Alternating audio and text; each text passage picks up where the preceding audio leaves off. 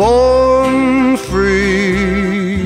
If you'd like to know more about the life of Matt Monro, you may also enjoy The Singer's Singer The Life and Music of Matt Monro, a biography by Matt's daughter Michele.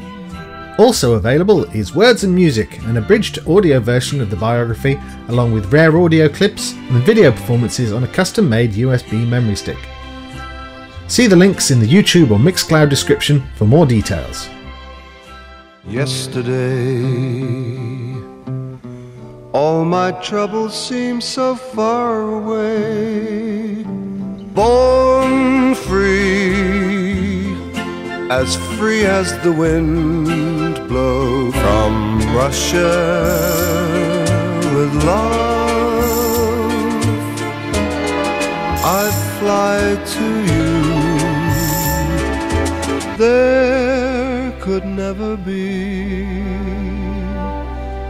a portrait of my love. To my mind, she's my kind of girl. This is the life. Here's where the living is. Come with us, run with us. We're gonna change the world. You'll be amazed, so full of praise. When we've rearranged your world, we're gonna.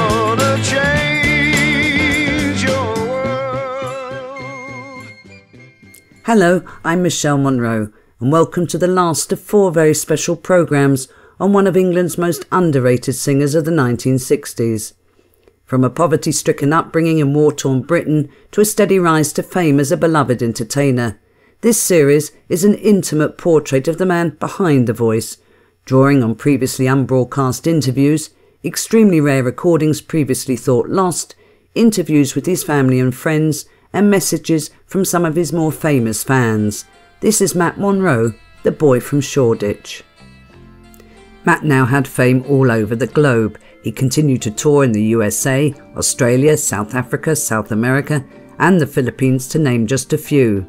As the 60s came to a close, as well as from Russia with Love and Born Free, he recorded what many perceive to be one of his best movie themes, and it's still one of the most requested tracks on radio. Questi giorni quando vieni il bel sole la la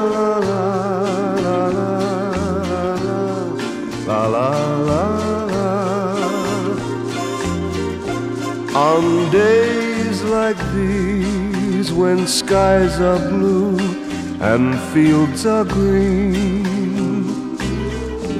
I look around and think about what might have been. And then I hear sweet music float around my head as I. Hello there. This is Quincy Jones. As we celebrate the life of the great Matt Monro, I cannot help but remember when he recorded on days like these for me when I was doing the score for the Italian job. And man, he absolutely smashed it. His musical chops and heart made him the artist we love and cherish so much. And when we lost our dear Matt, we lost a truly great artist and human being first in honor of his 90th birthday and the 60th anniversary of his first hit, Portrait of My Love, I hope that we will never, never, ever, ever forget the music he shared with us from the heart. Those decisions were made in heaven. My eternal love to you, Matt, and your beautiful family, brother. God bless you. It's days like these that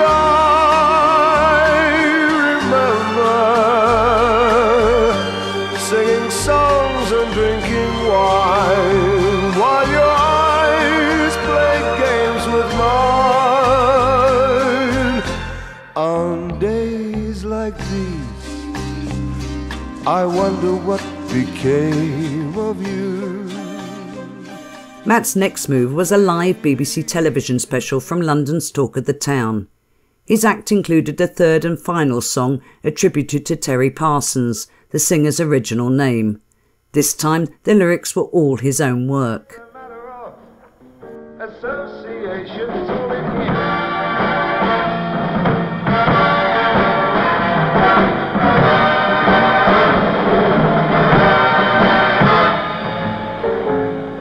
Engelbert changed his name, his future seemed to flower.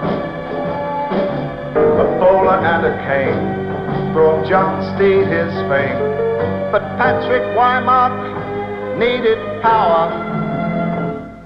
I'm telling you, Caswell, we're going to form a consortium and you can do what the hell you like. So you will say, I must find a way to make the name of Matt Monro stay. I'll paint a portrait of my bus one day. It's a matter of, a simple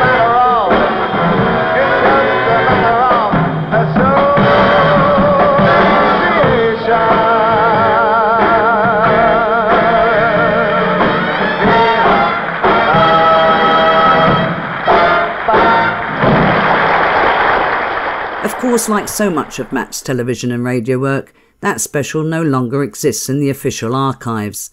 But luckily, the clip was rescued by a fan who recorded the special using a microphone next to their television set. As you can hear from his Patrick Wymark impression, Matt was also a bit of a mimic. Just once in a lifetime, a man knows a moment. One wonderful moment when fate takes his hand, and this is my moment, my once in a lifetime. Well, there's nobody till that somebody love you. So find yourself somebody. Keep those letters and cards coming in.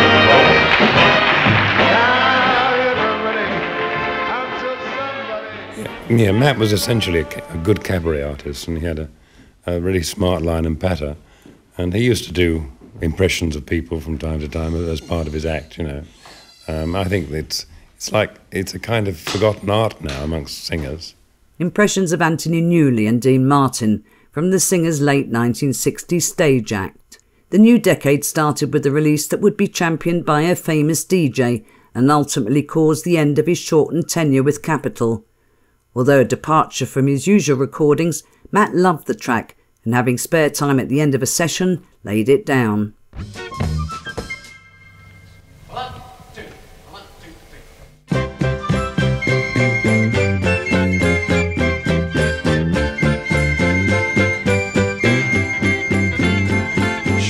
Shirley would gulp down her breakfast, shut the fridge and joined the throng.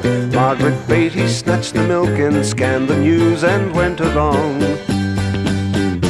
Annie Harris drew the curtain, screwed her eyes up, had a peep, saw the marchers, heard their voices making early morning noises. Stumbled back to bed and tried to sleep. Come with us, run with us. We're gonna change the world. You'll be amazed, so full of praise. When we've rearranged your world, we're gonna change your world. It was Kenny Everett who turned it into a turntable hit, changing the original release into a double A side. He absolutely loved it and played it constantly on his radio show. Being a born prankster, he wasn't adverse to having a little fun with it along the way, as this excerpt from his Radio 1 show demonstrates.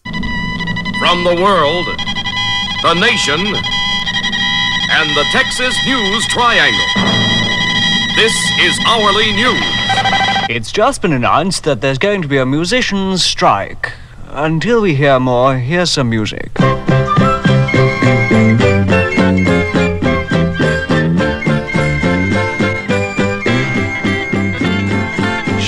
Would gulp down her breakfast, shut the fridge and join the throng. Margaret Beatty snatched the milk and scanned the news and went along. Everybody out! Annie Harris drew the curtain, screwed her eyes up, had a peep. Come on. Saw the marchers, heard their voices making early morning noises. Stumbled back to bed and tried to sleep. Come with us, run with us. We're gonna change the world. You'll be amazed, so full of praise. When we've rearranged your world, we're gonna change. Knew he couldn't keep it up. Across the Atlantic at Capitol Records, things weren't going quite so well with the song. And they cocked that up as well because uh, I took it to the States, you know, and everybody said, yeah, baby. I went, walked into a board meeting, actually. They're all sitting there with their feet on the desk, smoking and drinking coffee and donuts. And yeah, baby, that's great.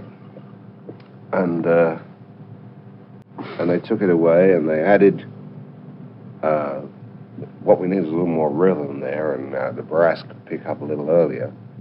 The extra brass was playing the wrong figures. What is that. If you listen to the English original and the American version, it's a different record. They cut out a whole chorus, and the bloody song just doesn't make sense When you say they're playing the wrong brass figures, what do you exactly mean? It's out of tune. It's terrible. It's a dreadful record, the American record.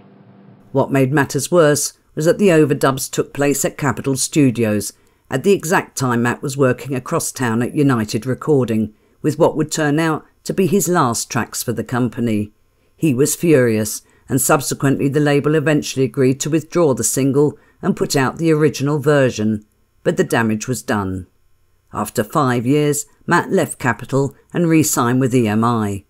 He was happy to be back working with George Martin, but Johnny Spence was now in great demand as an artist himself, which left Matt working with a string of different arrangers. The location of the sessions started changing as well. Although he still occasionally recorded at Abbey Road, the majority of his studio work took place in George Martin's brand new state of the art studios, Air London, based in Oxford Street. George and Matt looked for more contemporary material to record, although with so many people writing their own songs, it was more difficult to find an original that hadn't been covered by anyone else. So it is very, very difficult. I mean, the other thing, which was a, a big smash hit, which I would like to do, is um, called The First of May. Hmm. Yeah. It's a beautiful song. Yeah, it is. A beautiful song. But it was done by a group, and it was, I don't know whether it was a big hit or not, but uh, it's contemporary. When I was small and Christmas trees were tall, we used to love while others used to play. Don't ask me why, the time has passed us by. Someone else moved in from far away. Now we are tall and Christmas trees are small, and you don't ask the time of day. But you and I, our love will never die. But guess who'll cry come first of May? The singer was booked into Air London. The session included five tracks, all pinpointed to go on the new album for the present. Dad took me with him, which was very exciting as it was the first time I'd been to the studios with him. The studio was bedlam. There were people running back and forth, as well as 40 odd musicians trying to tune their instruments. But suddenly George Martin tapped his baton and everything went instantly quiet. Dad beckoned me over to him, held my hand, and started singing to me. That recording was the one actually cut to disc, and it was such a special moment, the memory of which has stayed with me throughout my life. The added thrill to me when I recorded this was the fact that my daughter was actually in the studio with me, holding my hand when I sung it. I make no excuses for calling the song Michelle. Michelle, my belle, these are words that go together well. My Michelle, Mm, Michelle, ma belle, sont les mots qui vont très bien ensemble, très bien ensemble. I love you, I love you, I love you. That's all I want to say until I find a way. I will say the only words I know that you'll understand. Michelle. There is a little postscript to that story. About 10 years ago, I came across Dad's music case, which had sat untouched ever since his last concert. It contained all the band parts for the songs he was performing at the time. Carefully placed in a compartment at the top of the case was George's handwritten score of Michelle from that recording session. Dad had carried it with him for the rest of his life. George very kindly signed it for me with the note, Your dad would have wanted you to have this. Love, Uncle George. In 1972, George explained to his friend that he was stepping back and lessening his role as producer while he concentrated on his new company. We never actually recorded a bad song. There may be some that weren't hits, but they were still singable songs. They were still good songs. And it's sort of material that I can still use in my act today. And people do still associate me with those songs that even weren't hits. Well, Matt was a great personal friend, apart from being a very fine recording artist. And uh, we had many happy memories together. Uh, he lived life very fully, and he was a very happy man, and he had a great family. But um, it, was, it was a real privilege to work with him and, and to, to know him so well as a person. Marvellous man. This time we almost sung our sunny tune.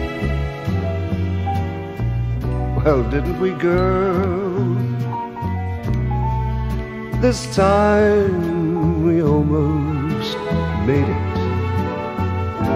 right up to the moon. Well, didn't we, girl? And this time we almost made our poem rhyme. And this time we almost made that long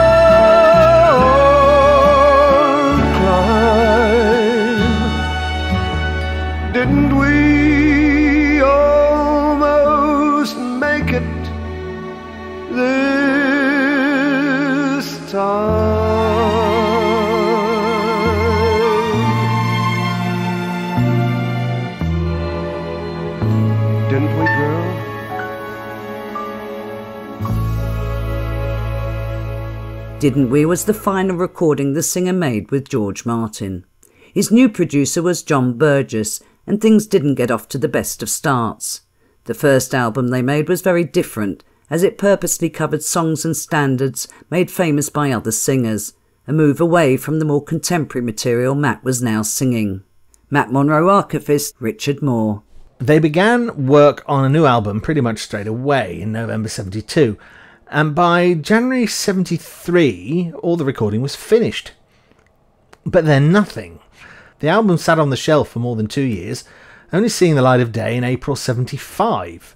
To make matters worse, it wasn't mixed properly. The versions released were um, known as rough mixes, which sometimes used wrong vocal takes and even left in the occasional mistake. If you listen to I'm Glad I'm Not Young Anymore, the track is drenched with reverb, and there's even a glaring mistake in the trumpet section.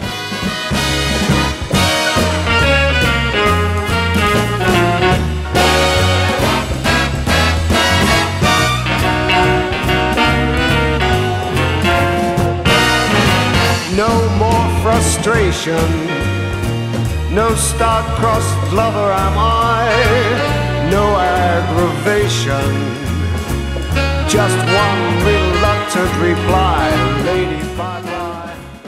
John Burgess also liked to work in a different way. He preferred to record the orchestra and then overdub vocals on later. This was not what Matt wanted. He liked to be in the studio with the orchestra. Although he and John would make two more albums together, none were as satisfying as his work with George. But the partnership did produce some good individual recordings, including his first chart hit of the 1970s. Of course, you've even had a hit in 1973, didn't you, with, with the Vanderbilt? Oh, with the Vandervalk, yeah, eye level. That sort of helped you a bit. didn't That's it? right, yeah. And you smiled, yeah. I've forgotten all about that. Yes, that was in the charts. I thought that I had the world on the end of a string. I thought that I was a millionaire. Free as the dawn, and then came the morning. I turned and I saw you there. And you smiled and you smiled with laughter in your eyes. Then the world seemed to fade away. And you smiled and you smiled, and I was captured, don't you know? I'd like to stay.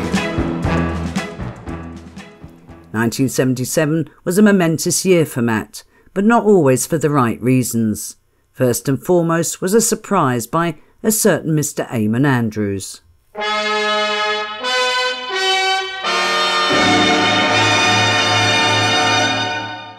It was an amazing day, but the rule was that the artist couldn't know about the surprise. If so, the show was axed.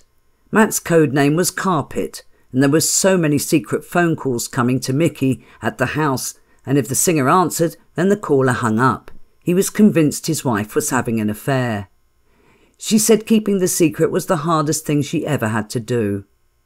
Sammy Davis flew in especially, squared up to the show's guest of honour, and said he only forgave him for singing so good because he was taller than him. Probably a quarter of an inch, if that. It was just a shame that Matt was opening at Talk of the Town that night, so he couldn't stay for the after show party. Matt Monro Jr. It was it was an amazing day, and I remember being back at school after it had been obviously aired, and all these kids had watched it, and you know what was television, as in that's me on the television, that's my dad on the television, and it was just it was a weird experience, again because to me he was just my dad. In fact, during the show that night, one of Matt's brothers suffered a heart attack while sitting in the audience, but it was kept from the singer until he came off stage, and then the whole family headed for the hospital, but thankfully Arthur was okay. What wasn't okay was the tragic loss of Matt's best friend, Johnny Spence, who died suddenly at the age of 42 on the 16th of August 1977. He'd lost many great friends over the decade, including Tony Hancock, Ed Sullivan, Duke Ellington, Mama Cass Elliot, as well as his beloved mother. But Johnny's loss started to tip him over the edge. That and the fact that his career was almost at a standstill. Don Black was in big demand as a songwriter and found it difficult to give the time needed to manage the singer's career. Mickey had urged her husband to leave Don several times over, but this time Matt realised he had no choice. Their contract had only been forged over a handshake, so with each wishing the other one well, they went their separate ways.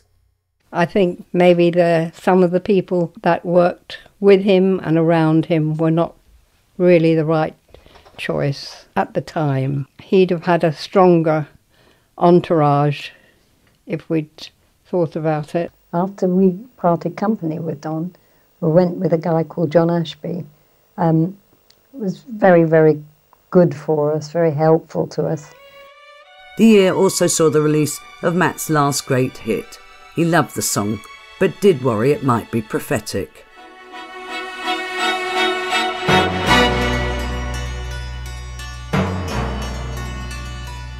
In my heyday, young girls wrote to me.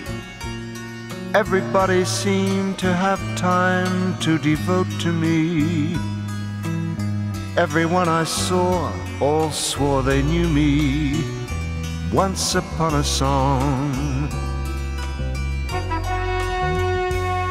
Main attraction couldn't buy a seat. The celebrities, celebrities would die to meet. I've had every accolade bestowed on me, and so you see, if I never sing another song, it shouldn't bother I've had my share of fame. You know my name. If I never sing another song or take another bow, I would get by, but I'm not sure how. La la la la la la.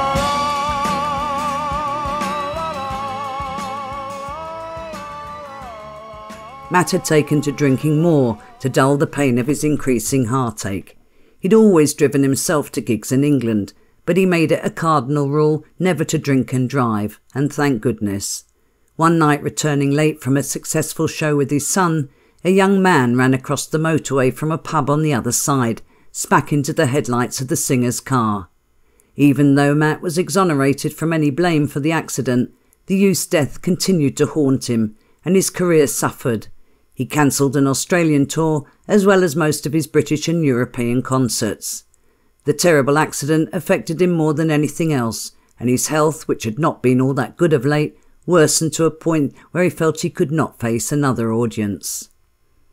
Matt needed help and booked himself into Galsworthy. He'd previously been admitted to the Priory in 1976, but the root of the problem was that he simply enjoyed a drink, and the doctors established it did not interfere with his everyday life, but it did have a detrimental effect on his liver. It had been damaged at birth when he was taken to hospital with infective hepatitis and spent nearly two years incarcerated. With regular jaundice attacks of late, Matt entered the clinic determined to never drink again, and he didn't, but the damage was done. It took a long time before Mickey persuaded him to go back out on the road again, helped by his return to the hit parade. EMI had released an album called Heartbreakers, which shot straight to number five in March 1980, much to the surprise of the singer. I didn't know it was going to be released. I had no, I, I knew nothing about it. It was something conceived by a bloke at EMI, for which I'm extremely grateful. I don't even know that who the fellow was because he's not at EMI anymore. They just got me a, a gold disc anyway. Although now under new management, Matt's schedule was no less grueling than in the past. His worldwide success hadn't waned, and contracts came in from across the globe. I'm doing a couple of nights this week with Sid. Uh, that was yesterday and today. Then I've got tomorrow, I'm driving back to London. Friday's off, and I'm working Saturday and Sunday in Birmingham on another tour, which is a smaller tour, which is clubs. I finish actually at the end of May when I go to Malta. I go to Malta for three days. And then I, beginning of June, I go back to Florida. I'm supposed to go to somewhere in the Middle East. I'm supposed to do a tour there. I'm also supposed to go to the Far East and do a tour there. And in September, I go to South America. In October, I go back to Australia.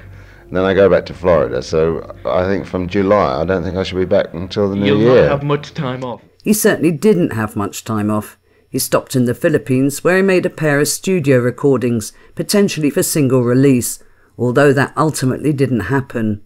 He also made more recordings in Spanish, which forged a reunion with George Martin, who conducted the orchestra, and Leonardo Schultz, who had originally masterminded the singer's Spanish language tracks. It would turn out to be his last album.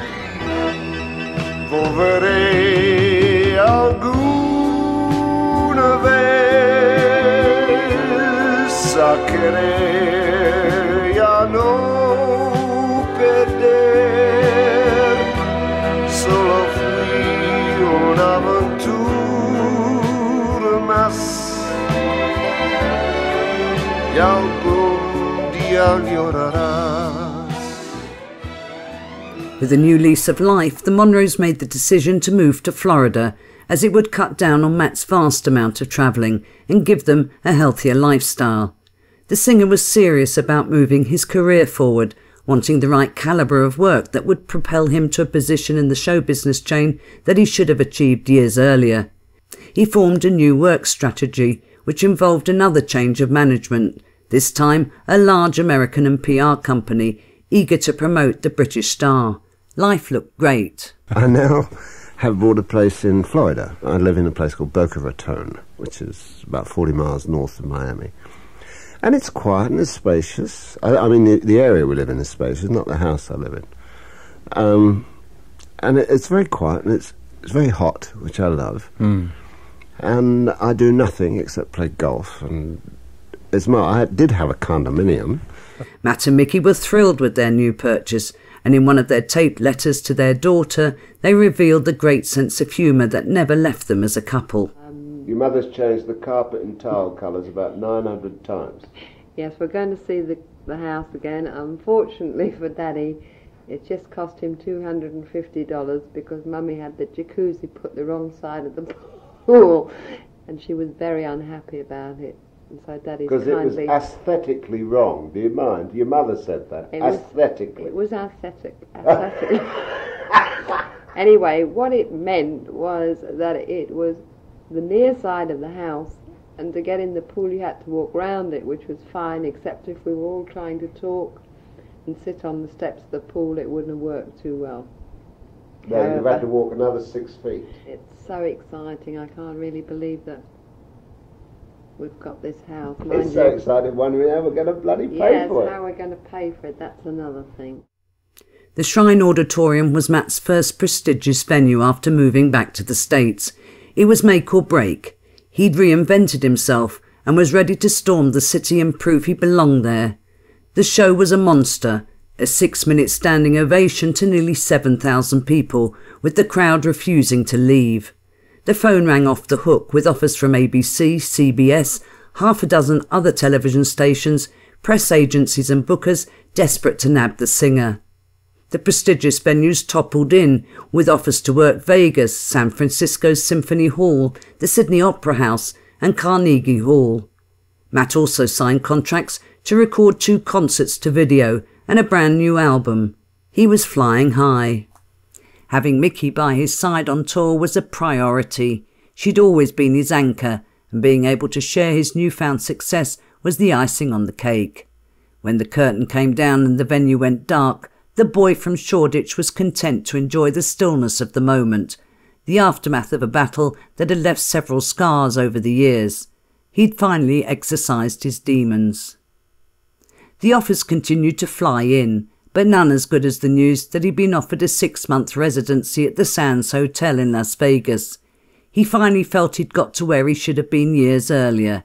His last interview was quite prophetic. What can I say? I've had more out of my life.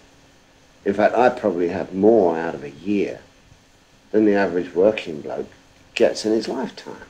So if it all finishes tomorrow, I'm ahead. In the second half of 1984, Matt toured Australia for the 15th time, but while there, fell ill and was diagnosed with food poisoning. He flew back to England for one concert at the Barbican, but went to see a specialist while there, as he couldn't shake the feeling of ill health. The Barbican was one of the greatest concerts he did in England, with a standing ovation of seven minutes and a lauded write-up by Peter Heppel in The Stage, the industry's Bible.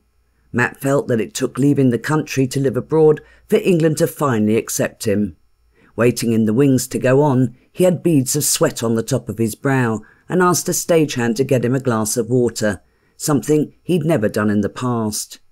The adrenaline of the past 90 minutes on stage carried him through the numerous people who came backstage to show their appreciation, but by the time Matt was in the car, he was near collapse.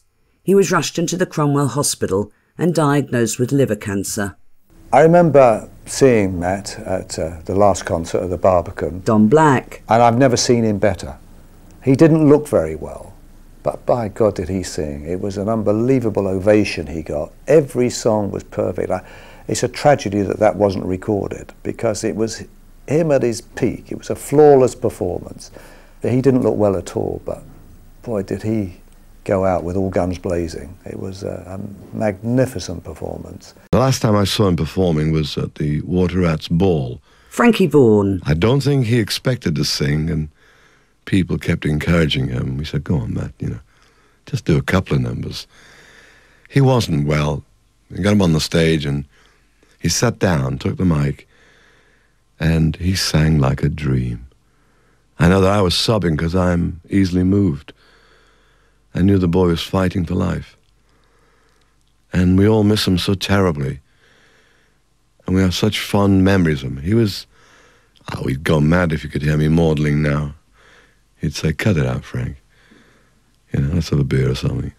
And uh, God, we miss him. John Ashby. I was going to America uh, for Christmas and the New Year, and I think I was away for about four weeks. Um, and I'd spoken to Matt, and I said, "What are you doing for Christmas?" Said, "I'm just going to have a quiet." He always called me son. He said, "I'm going to have a quiet Christmas at home, son, and I'll see you when you get back, and then we'll talk about what we're going to do next year." And I said, "Great." Uh, and then I was away, and I think I got back uh, probably about the 10th or 12th of January. Uh, and when you get back in, you play your message on the answer phone. And about the fifth message in, there was a message uh, from Matt. He said, Hello, son. He said, It's Matt. Uh, I'd like a word. I'll never forget it. I'd like a word. Uh, ring me on this number, room so and so and so and so. And I thought, well, that's strange. And I, I, I didn't know. And I rang the, rum, the number, and it was the Cromwell Hospital. And I got through and I spoke to Matt, and that was the first time that I knew that he was sick. During his lifetime, Matt held Sinatra on a pedestal, but it was a mutual admiration society. Sinatra rated the British crooner as one of the three greatest singers in the world. To be recognised by Sinatra was the highest accolade you could get, as he didn't praise many people, and it meant the world to Matt. In fact, one of the last things he read was a telegram that was delivered to the hospital. Sorry to hear you've been taken ill, and hope you'll soon be on the mend and up and about. I send love and prayers. Your fellow boy singer, Frank Sinatra. Don and I went to, I'll never forget it, to the University Arms Hotel in Cambridge for a bit of lunch. And the restaurant was pretty empty. I think there was one other table, it was Don and I, and they had piped music on there. And about half past one, Don said, listen. And over the tannoy system came Softly As I Leave You. And it seemed prophetic in a way. And it was just so poignant. A failed liver transplant spelt the end of one of the greatest singers to ever grace the British shores. On the 7th of February 1985, the world started to mourn the loss of one of their favourites. There was a very big thing at um, Golders Green, crematorium there, and uh, surprisingly great, I don't mean surprisingly great gathering, but a great mixture of people that you wouldn't expect to see in all in one group. Very diverse um, scale of people right across the, the whole scale. Comics, uh, singers, musicians, bandsmen, uh, actors, uh, managers, agents, producers, uh, all, all the whole. If you could kind of cast a, a, net for the show business and pull it in, that that was there. And they played his music, and people sang, and uh, I mean, it was it it wasn't a, a, a downbeat gathering. It was a a celebration of the man's life. As soon as you put that CD on, or your DVD, or whatever you put on, bump, that's Matt Monro. He had a great sound and uh, the minute you heard a note, you knew it was Matt Monro. That's why he became such a big star. But uh, he was a lovely person, and uh, we certainly miss him. And he, he was such a credit to to the game. Well, how do they say it here in Britain? Uh, Matt was really a great friend of mine, and I'm more than a fan of his. He was like a brother to me, and treated me so well when I came to Britain the first time, and really worked hard at trying to help me out. He sang as well as anybody, absolutely anybody. And he had a wonderful voice. It was a, a God given voice. Well, you can't be that good and be forgotten. I would have given anything. I don't want to change my style. I never want to change what I do. But had I been able to grasp a little bit of what he did, I'd love to have added it to my voice. I mean, I, I love the man very deeply. Bruce Forsyth, Buddy Greco, Tony Bennett, Johnny Mathis, June Marlowe, Cliff Richard, and Dave Allen, just a few tributes from some of his famous fans.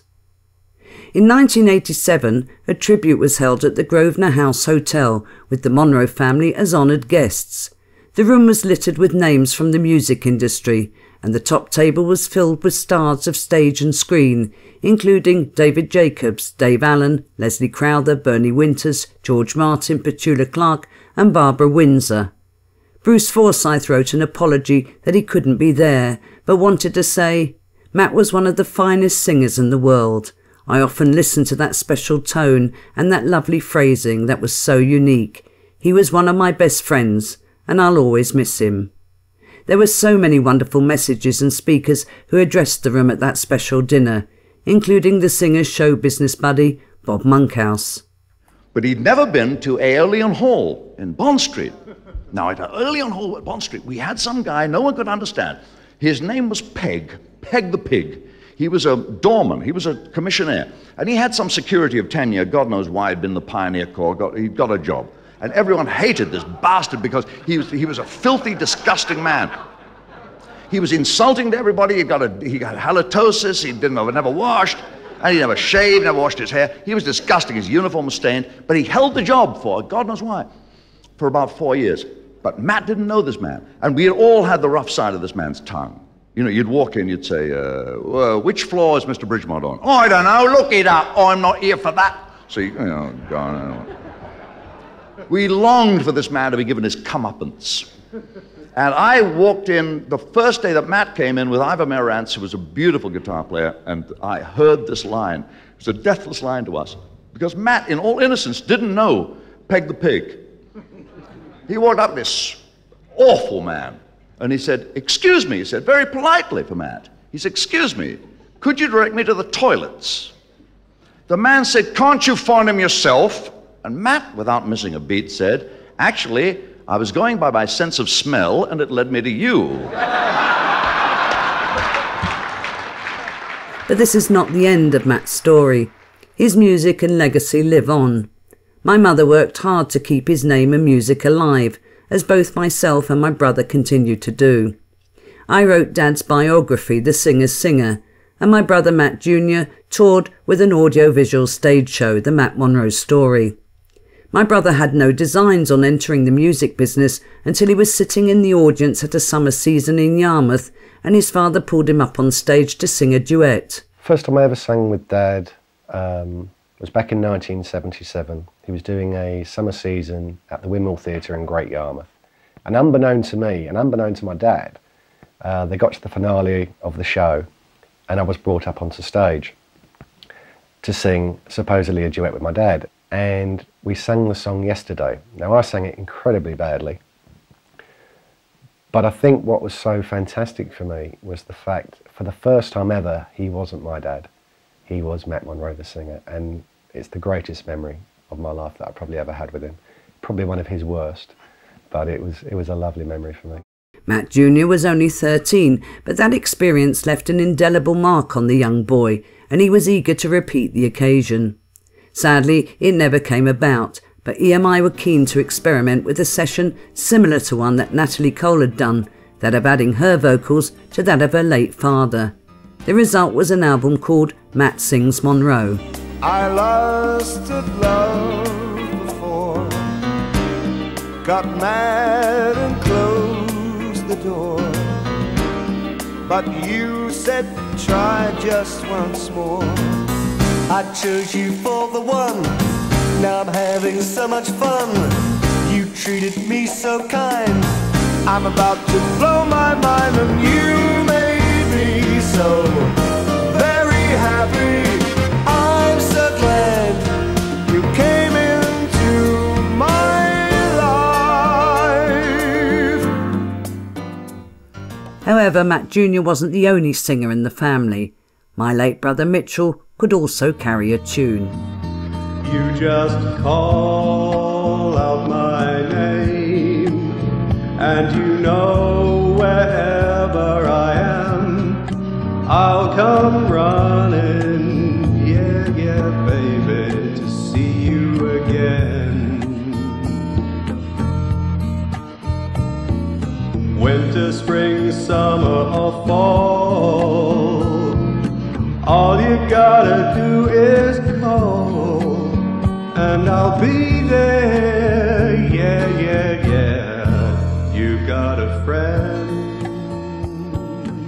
A recording he made just for fun. Just don't ask me to sing, your ears couldn't take it. One of Dad's deepest regrets was that he never got a number one in his own country. But in 2004, I got a call from Odeon Entertainment who wanted to make a documentary on Dad. They didn't have a great deal of money, so I struck a deal which included transferring all my old media into the new format. Dad was a lover of films and had these large film canisters in the garage from years back. I gave Bob Monkhouse the majority as he was an avid collector, but two reels were unmarked and I nearly threw them away several times over as the costs of getting them transferred ran into thousands at the time. Odeon took them all away, and a few weeks later I got a garbled phone call saying that one of them was a full length concert from Australia and it was in perfect condition. Odeon begged me permission to release it, and an evening with Matt Monro went straight into the DVD charts and knocked Eminem off the number one spot, which my son thought was super cool. So 18 years after his death, Dad got his number one in England. In the last 15 years, with the help of Richard Moore, who now remasters all the albums the estate release, we have searched the world to find rare or unheard material and have tried to make all of Dad's catalogue available in the best sounding versions possible. These include the five disc complete singles collection, live concerts in Australia, the Philippines, and Hong Kong, the Rare Monro, and its follow up, Matt Uncovered, the Rarer Monro. In fact, that particular album included material that surfaced by chance and held an incredible surprise. Matt Monro archivist and sound engineer Richard Moore. In 2010, I was researching the radio shows Matt made for Rediffusion in Hong Kong, and I came across a man called Gerald Dalmada. And he'd worked in Hong Kong with Matt.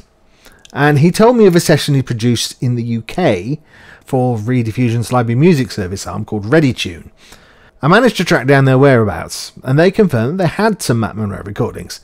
All the rights and legal stuff took ages to sort out. Mickey Monro.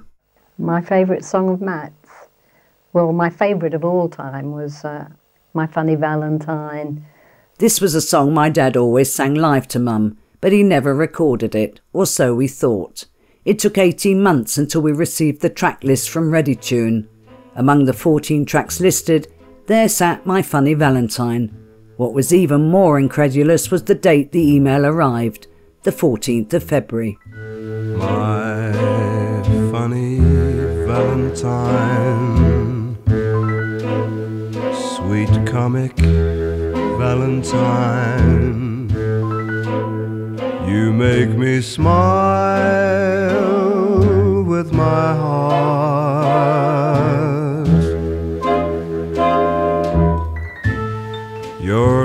Looks are laughable unphotographable. Yet you're my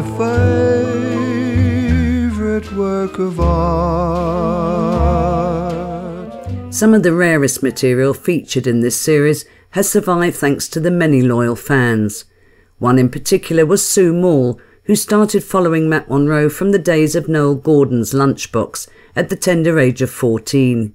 She was completely smitten and recorded as many television and radio shows as she could in the early years, and we are very grateful that she did. Richard Moore. Now, Matt made more than 300 TV and radio appearances, but only a small number of those survive in the archive. And it's typical. If there's one show from a series that Matt appeared in that's missing, it'll be the one that Matt was in. Uh, Eurovision 1964, visuals all gone for that and the 1966 Royal Variety Show, uh, Morecambe and Wise' first BBC series. Of course, who knows what people have got hidden away, and it's always great to hear from people who've got things. December 2020 would have been Dad's 90th birthday, and to celebrate, we released the album of previously unheard versions of his Lost New York sessions, Stranger in Paradise, which reached number 8 in the charts and has spent five months in the top 30. We also asked a few more of his famous fans if they had any special messages they wanted to share. Joe Mantegna starts us off. I first learned about Matt, I think, when I was a teenager and saw the movie From Russia with Love. And after the movie, thinking, who sang that song? Who is that guy? And of course, I found out soon enough that he was one of the great crooners of all time, right along there with Sinatra and Tony Bennett and Johnny Mathis and all the great singers of, of my era and, and uh, and so I was fortunate enough to have met his daughter, met his son, not fortunate enough to have met Matt himself, but all I can tell you is that his music has certainly been a big part of the soundtrack of my life. And so I salute Matt, my best to his family, And uh, I'll just be forever grateful that the songs and sound of Matt Monro have been a big part of my life. Hello, my name is Helen Shapiro, and I'm honored to have been asked to share in Matt Monro's 90th anniversary celebration, which also happens to be the 60th anniversary of his first hit record, Portrait of My Love. I have happy memories of working with Matt several times, especially at the London Palladium. What a great performer he was, with an instantly recognizable, beautiful voice. I used to stand in the wings and watch him every performance and my favourite song was Softly as I Leave You. Every time I heard it, without fail, it brought tears to my eyes. Great memories of a great singer. I send my best wishes to Matt's family and to all those who are celebrating these very special anniversaries. Hi, this is Bernie Clifton. Matt Monro was our greatest ever singer of popular ballads. I mean, America, there was Vic Damone, Jack Jones, Sinatra, but we had Matt Monro. His phrasing, his technique, his treatment, he was top man, as indeed um, those sentiments echoed by Sinatra himself. Uh, I've got a record that's my go to record. It's Matt singing on days like these. And it still gets to me every time I play it. It's absolutely brilliant. Hello, I'm Bobby Crush, and this was a big hit for Matt Monro.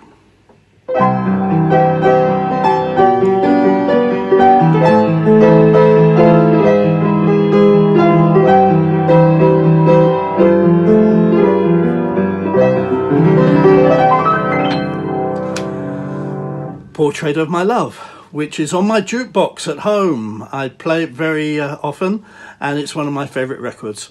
I was always a big fan of uh, Matt's. I was lucky enough to work a few times with Matt on various concert dates, and uh, I was very privileged to be able to stand in the wings and watch him perform.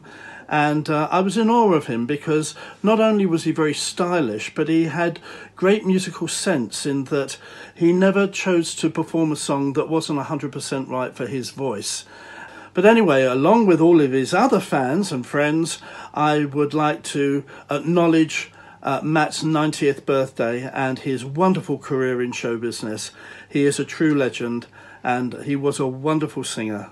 Hello, everybody. Uh, my name's Duncan Norvelle, and I'm a big fan of Matt Monro. And when they asked me to talk about this man, all I can say is just what an amazing, amazing voice. You see, it was different. He he had the perfect diction. He was just so charismatic when he sang. There will never be another one. If only I could have worked with him, I'd have asked him to chase me. Lance Ellington here. I've got to say how thrilled I was when you asked me if I'd say a few words about the incredible Matt Monro. Well, as a child growing up in the Ellington household with my father, Ray Ellington, there was very rarely a day that went by that we didn't listen to your dad's records and listen to his incredible, incredible vocals. And uh, I myself have been greatly influenced over the years of singing by your father and uh, his amazing voice, and always strive really to get to be as great as him. And uh, I love your father, his music, and uh, it's an incredible legacy that he's left. And uh, I'm very, very happy to say a few words and, of course, to wish him a very happy, which would have been 90th anniversary. Hi there, Anton Du Beke here. I just want to do in a few words, and I'm not sure how one does it in a few words, just say and express what Matt Monro and his voice and his songs meant to me. And as I say, it's very, very difficult. I grew up listening to Matt Monro and his songs, and when I started dancing, we were dancing to his his music. Um, and I've listened to it through my whole life. It's one of these things I've never stopped listening to. He's got the most, most brilliant, brilliant voice. I absolutely love it. When I sing, I think I always sound like a cross between uh, Sammy Davis Jr. and Matt Monro. It appears that I sound a bit like Sammy Monro and Matt Davis Jr. So, uh, but I'm still working at it. it, he's been an inspiration to me for as long as I can remember. That voice just carries you along. I know it's going to be his 90th anniversary of the uh, of his birth, and well, he is even still now. When I'm in the car and I'm driving and I want to listen to something, I invariably go to Matt Monro. So much love and um, happy anniversary. A travelling salesman of songs, Matt Monro's only gimmick was his outstanding durable vocal talent, plus the out and out class to survive any passing fad in the notoriously fickle world of pop music. Since 1960 to his last days on earth, he had never been out of work. He didn't have to have a hit to survive. He was one of the best ambassadors of British music, our greatest post war vocalist in his own particular field sadly never fully appreciated in this country. Great songs in his book are those that last and become standards, songs which are internationally acclaimed by everyone, had masses of appeal, stand the test of time, and even 60 years later, given a new treatment, could still sound good. The past never sleeps, nor does good music. To really understand Matt Monro, all you have to do is listen. His voice is the clue to his humanity, and through his music, Matt lives on. He is irreplaceable. I'll leave you with a short poem written and read by Barry Cryer at Matt's Grosvenor House tribute. There could never be a portrait of my life because nobody could write the script. There could never be a portrait of my life because my life has soared and dipped. So I'll settle for the friends along the way as the tapestry of life has been unfurled Friends like Matt, who had welcome written on. To my mind, that's my kind of world. So raise a glass tonight and toast the lad himself. There's really nothing more I have to say, so softly as I leave you, I join with all the mates.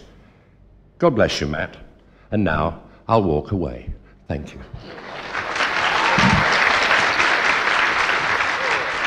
You've been listening to the final part of Matt Monro, the boy from Shoreditch. The script was written and presented by Michele Monro and produced by Richard Moore. This was a Mint and Monro production. Take my hand. Stranger in Paradise, The Lost New York Sessions, the critically acclaimed top 10 album. Matt Monro's Broadway sessions released for the first time in their original form. Also includes a bonus disc featuring 27 of Matt's best recordings, including Born Free, Portrait of My Love, and Walk Away. See the links in the YouTube or Mixcloud description for more details.